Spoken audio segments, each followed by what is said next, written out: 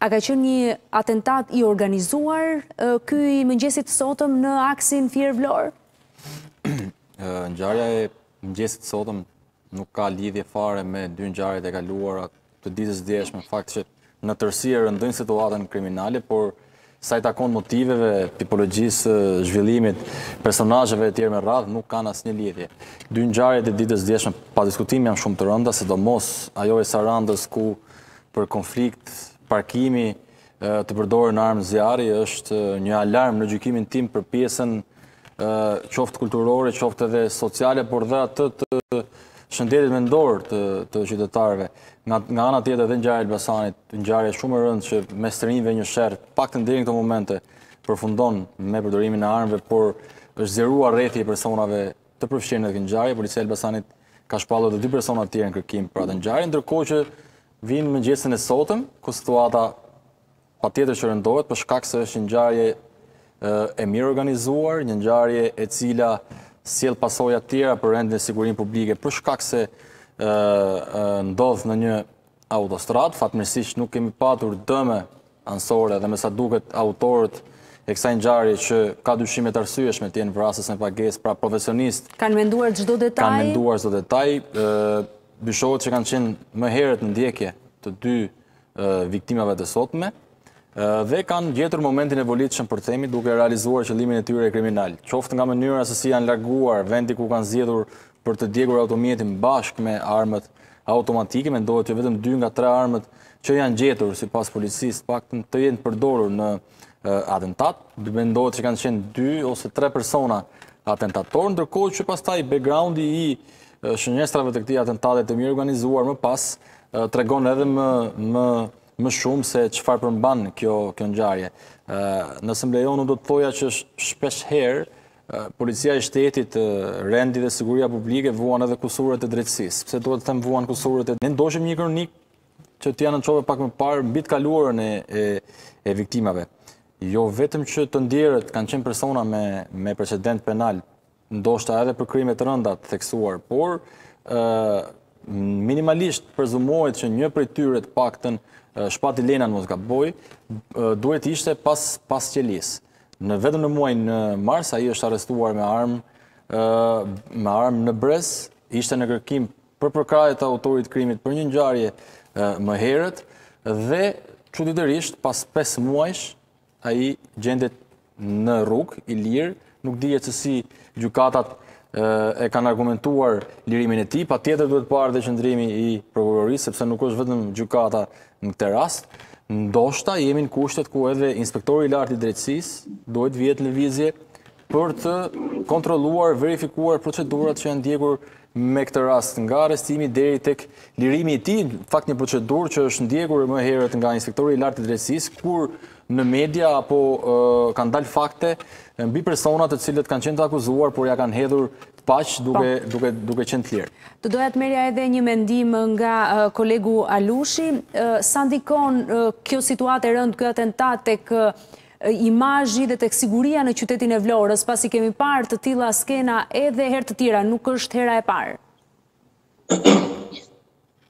Ngjarja, ngjarja sigurisht që është një ngjarje, një ngjarje e rëndë, sepse ndodh pikërisht në fillimin e sezonit turistik, kur në qytet qyteti është afishuar nga ana e banorëve dhe pushuesve që kanë zgjedhur për të kaluar ditët e verës në qytet.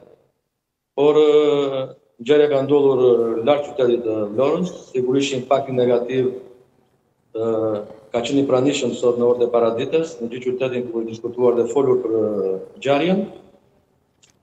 Por fakti që Vlora gjithmonë ka atë emrin emrin e madh në thonjza për ngjarjet kriminale bën që çdo ngjarje që ndodh në qytet amplifikohet dhe merr Përmasa të mëdhaja. Kështu ka ndodhur me këtë rast, një ngjarje e rëndë ku kanë humbur dy të rinj të qytetit të Vlorës, të cilët i shtohen numrit të madh të rinjve të qytetit të cilët humbasin jetën në të tilla ngjarje, që padyshim që padyshim ndikojnë ndikojnë në imazh, në imazh të qytetit, por janë ngjarje që kanë ndodhur kanë ndodhur dhe më para dhe kanë qenë dhe më të shpeshta në vitet e kaluara.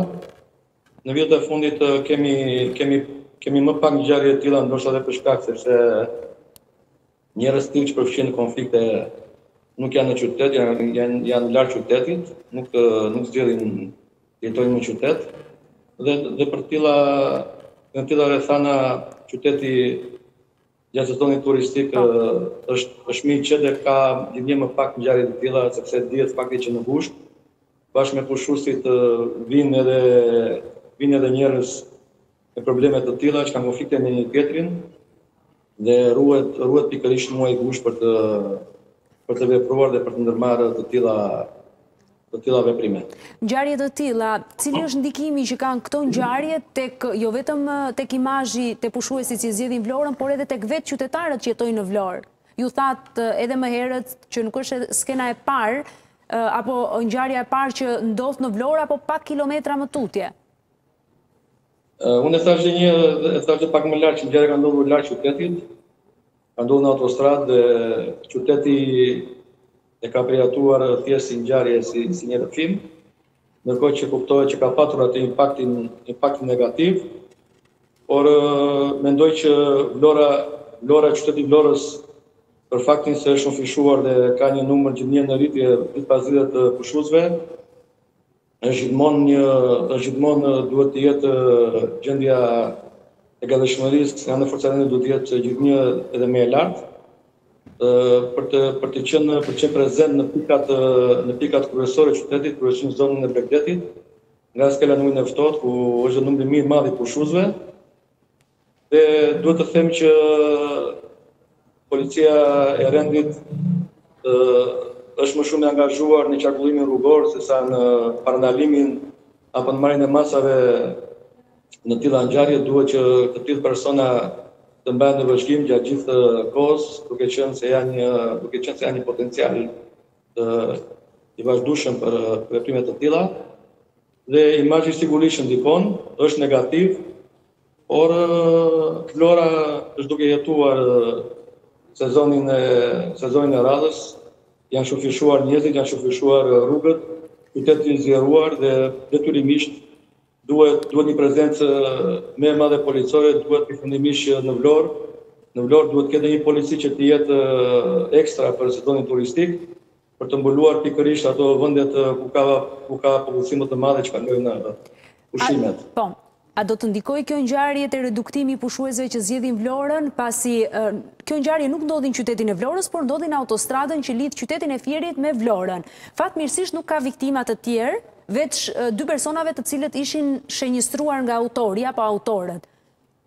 Ishim në një autostradë ku ka qarkullim të lirshëm të qytetarëve, të cilët zgjedhin bregdetin e Vlorës për të pushuar.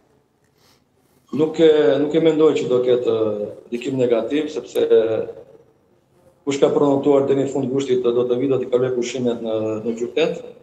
Dhe ngjarja nuk besoj se do të ketë aq impakt sa të sa të pengojë njerëzit të vijnë në, në Vlorë, sepse duhet pranuar dhe edhe diçka tjetër që ka të bëjë me anën me, me anën mentalitetit të të shqiptarëve, shqiptarët duket që tashmë janë mësuar me keqen, e kanë pranuar të keqen në çdo rrethanë, në çdo mënyrë dhe nga çdo anë që i vjen.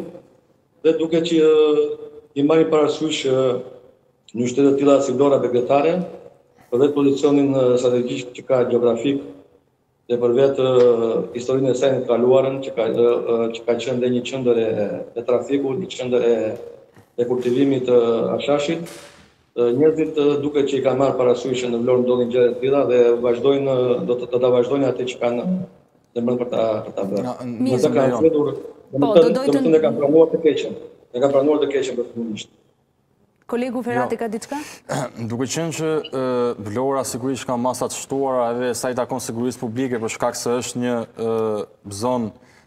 turistike. Vlora është një drejtori që ka edhe një forcë të posaçme shumë të mirë siç janë Shqiponjat, po doja ta, doja ta pyesim me Gysin, domethënë një, një automjet të dyshuar BMW me targa të huaja, ku lëvizin tre atentatorë, kanë tre automatikë, a ka, domethënë, pyetja ime është kjo, a ka kontrolle nga policia në Vlorë edhe për të mbajtur kontroll, për të mbajtur në vëzhgim elementin, elementin kriminal, sepse kjo ngjarje për shembull nga një Ndalim rastësor i një patrulle policie, mbi bazën e një dyshimi se ndoshta makina ka qenë me xhama të zi, besoj, sepse makina është shkrumbuar totalisht, por kjo do të verifikohet nga kamerat e sigurisë së qytetit, sepse ndjekja mendohet që ka filluar më herët, derisa kanë zgjedhur vendin në autostradë, por për këtë ndoshta mund të na iluminojë pak më shumë Gysi, pra ka kontrolle dhe për të ruajtur rendin e sigurinë. Fakti, fakti që sa herë, fakti që sa herë ndodhin gjëra në Vlorë, ka gjithmonë një person të përfshirë në konflikt me armë, do të thotë që armët në Vlorë janë prezent. Është është një fakt që në, në qytet në qytet ka njerëz që lëvizin me armë dhe janë të pandaluar nga policia. për arsye që i di policia e shtetit dhe dhe struktura përkatëse që merren me këtë drejtim, sepse në këto ditë nuk kemi parë nuk kemi parë persona të ndaluar apo shoqëruar sepse kanë qenë me armë, të paktën neve si gazetarë që i njohim personalisht dhe fizikisht apo dhe Vlora që i njeh që janë persona që kanë një hasmëri dhe kanë një problem, një konflikt, Patjetër që lëvizin me armë dhe fakti që gjithmonë sa herë ka një konflikt, qoftë dhe banal për një çadër, për një plazh privat apo për një atentat në rrugët e qytetit të Vlorës, ndodh gjithmonë që o personi që është viktimë gjendet me armë, ose ai që përfshihet në konflikt ka gjithmonë një armë me vete që qëllon në drejtim të personit tjetër. Do të thotë që armët, armët janë prezente dhe nuk ka dhe nuk ka shumë masa, nuk ka shumë kontrolle në këtë drejtim. Me pak fjalë, kush ka kush ka për të kush ka për të kryer një akt, domethënë e kryen, nuk ka problem. Nuk ka grupe të caktuara postblloqe të punonjësve të policisë vendosur në hyrje dalje të qytetit?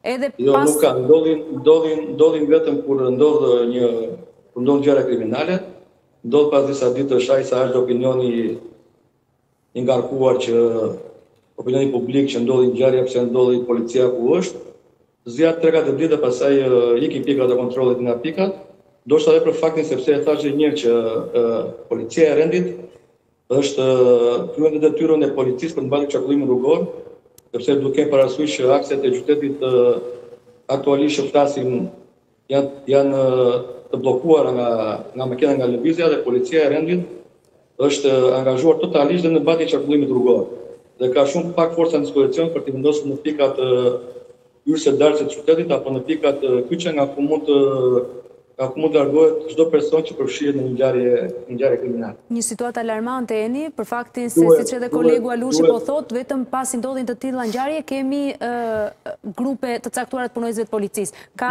për të përfunduar fjalën Ergysi dhe më pas Eni.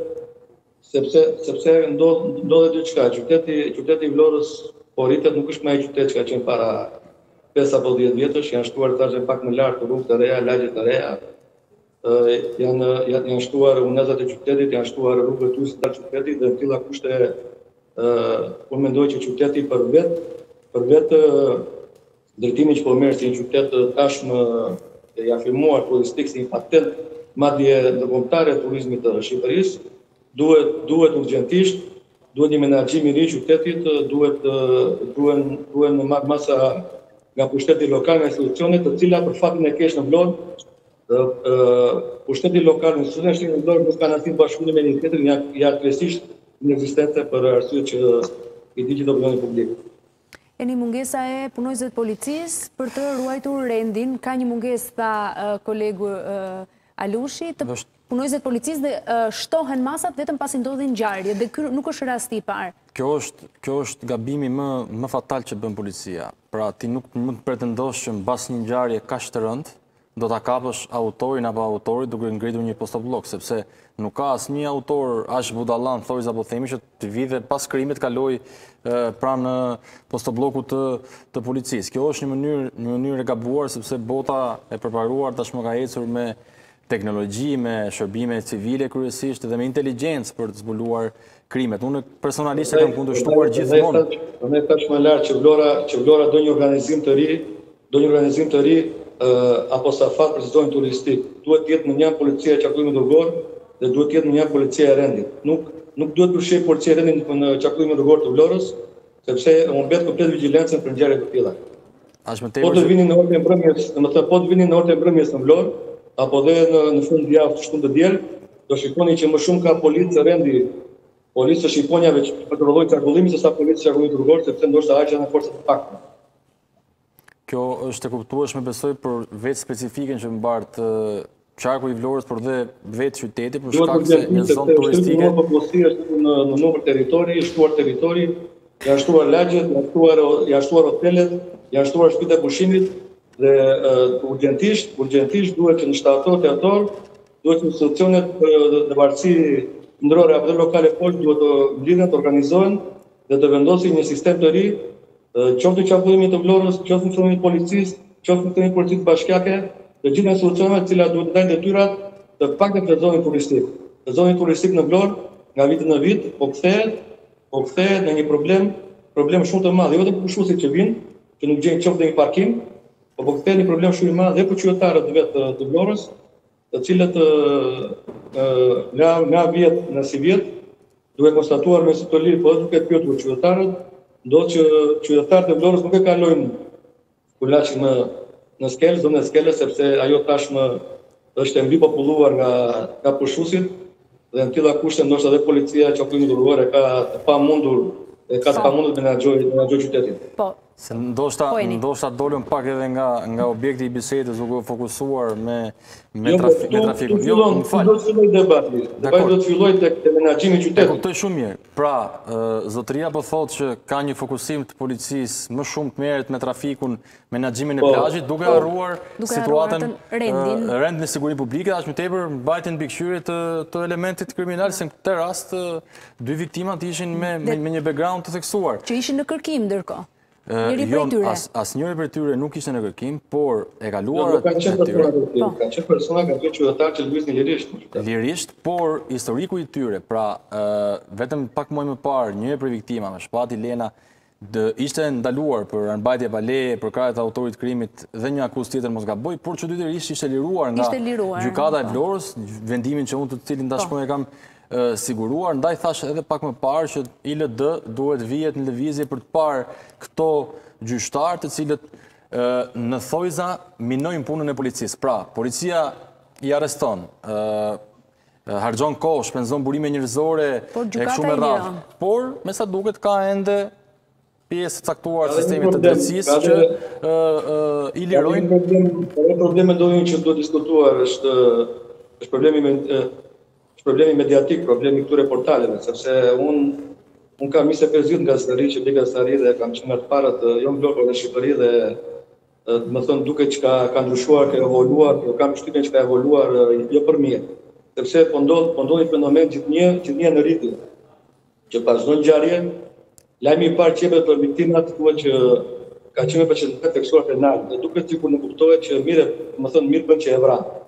Dhe kjo, dhe kjo ndikon, dhe kjo ndikon i jep zemër atij që qëllon, apo atij që ka në plan të ndërmarrë një akt të tillë, dhe ndikon negativisht në mentalitetin e qytetarëve, të njerëzve, sepse njerëzit e pranojnë, e pranojnë duke duke qenë nën trysni të të të të kësaj lloj medieje, e pranojnë një farë mënyre që Më mirë bënë se e vranë, se ja paska qenë i këtillë.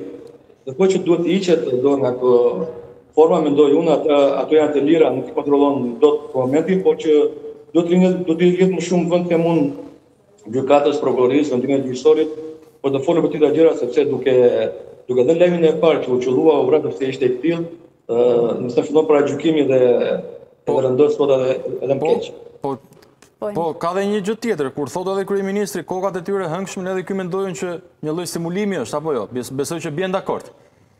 Kryeministri mendoj, mbase nuk e ka thënë në këtë në këtë siç është siç është trajtuar, sepse nuk mendoj të ketë kryeministër në botë të thotë për qytetarët e vet që kokat kokat le t'i hanë. Nuk e di, nuk e di se ka thënë, nuk e Nuk e di se ka thënë sa të Të mos shpërqendrohemi dhe të qëndrojmë fiks tek ky objekti për ta. Dhe siç po thoja? Të dëgjojmë pak kolegun Ferati. Ka dhe një problematikë tjetër që kolegu e ceku pak. Pra, duke i orientuar shërbimet e policisë drejt zonave të plazhit për shkak të qarkut, duke i orientuar edhe me, me, me detyra të tjera, jemi, jemi në një kohë ku është problem shumë kultivimi i kanabisit, që Vlora është një Është në, në, në hartën e është në listën e zezë, po themi të territorit të Shqipërisë sa i takon kultivimit.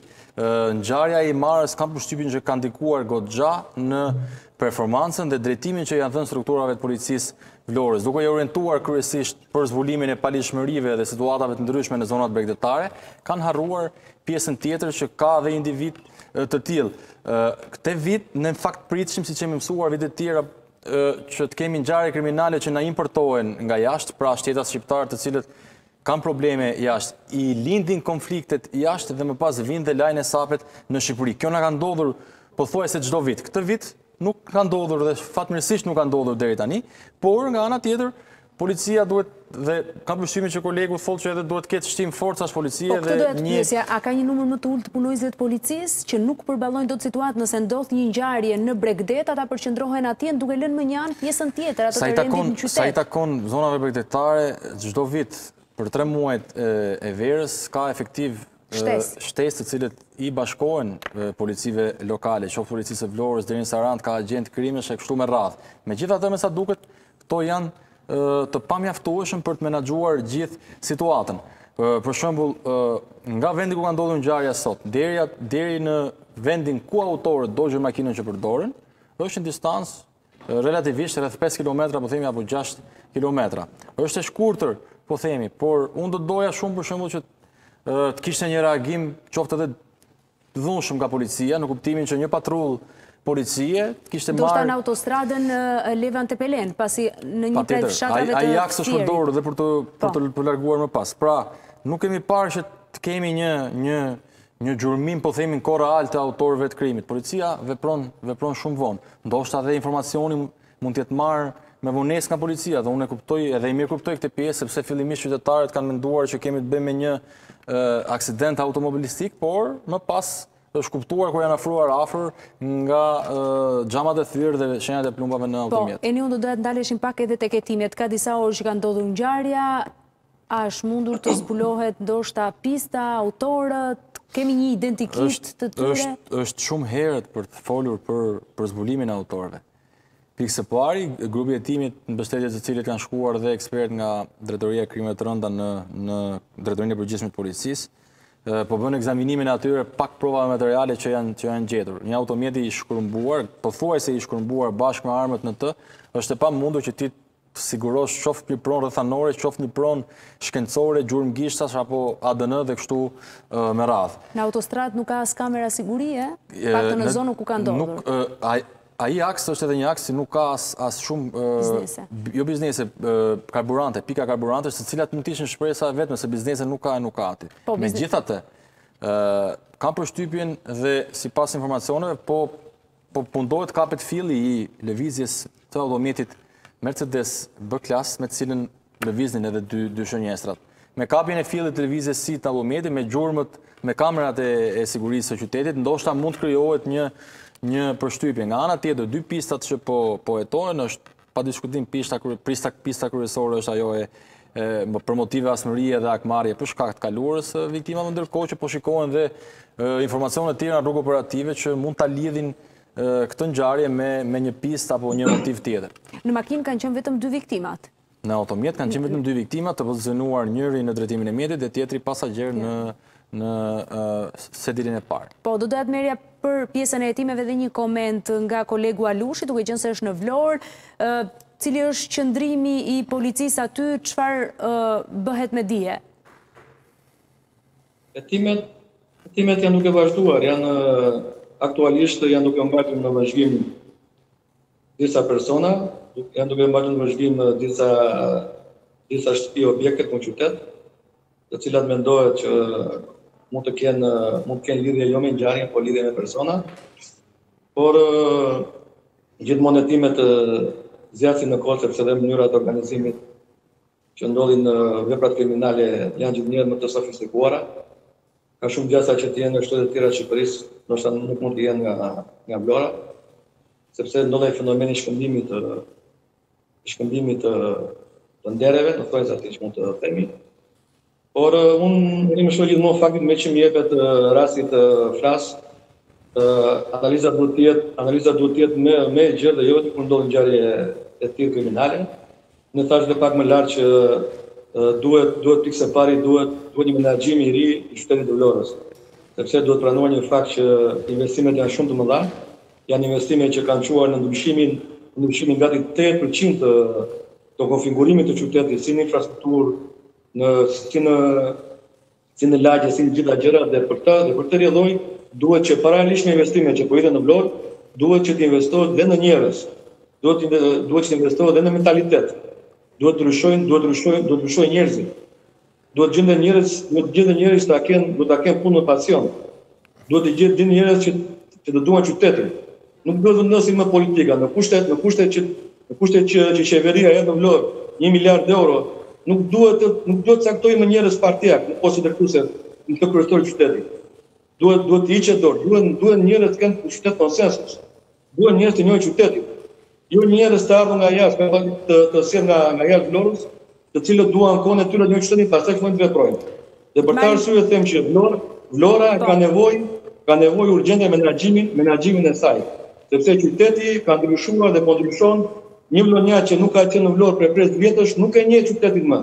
Po, ja të marr mendimin e kolegut Ferhati, duke qenë një gazetar i vjetër i kronikës, sa ndikon kjo që kolegu Alushi është duke thënë, pra, vendosja e një drejtori policie, i cili nuk e njeh zonën, nuk e njeh qarkun, Sa e vështirë është për të? Shiko, në fakt...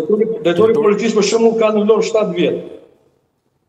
Po sado që, sado që të ketë qenë, sado që të jetë, sado që të jetë, më i miri të jetë, duhet Duhet një frymë e re, duhet një drejtim i ri, duhet duhet një menaxhim i ri. Zakonisht, zakonisht parimi kryesor për një drejt të paktën meqë ju referuat policisë, parimi kryesor për vendosjen e një drejtuesi